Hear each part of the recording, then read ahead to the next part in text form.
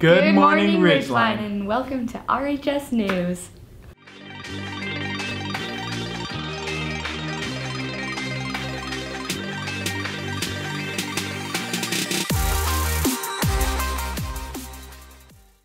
For today's events, we have state boys tennis down at Liberty Park, so good luck to them. Also, we have the RHS greenhouse sale going on. We also have the AP US History uh, test going on in the lecture hall and in the South Gym at 8 a.m. And we have the Hogwarts end of year feast going on at 6 p.m., so go to that. and what do we have going on on Saturday?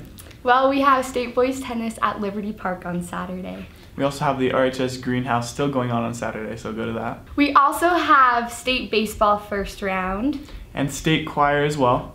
and state softball.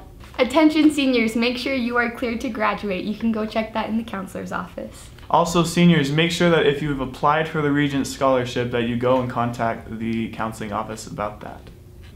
Anyone interested in auditioning for the advanced orchestra, go see Dr. Finley in his office. We also have musical theater going on this summer, so for those interested, register in the office. The fee is $75. Your breakfast for tomorrow is pancake on a stick or cold cereal. What's for lunch, Caleb? We have orange chicken or mini corn dogs with chips.